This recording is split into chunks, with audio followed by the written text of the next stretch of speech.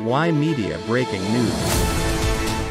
A man was rushed to a trauma center following a shooting late Tuesday night at Scarborough. The incident happened shortly after 11 pm on Kennedy Road and south of Eglinton Avenue East. Toronto police told CP24 that officers located a man with multi gunshot wounds at the scene. The victim was transported to hospital serious injury via emergency run. Investigator said that this injury are not life threatening. A sedan with multiple bullet holes on the driver's side was seen at the scene. Police do not have any suspect information at this time. All lanes of Kennedy Road at Eglinton Avenue East were closed as police investigated but have since reopened. Toronto police officers are no longer at scene but the investigation continues.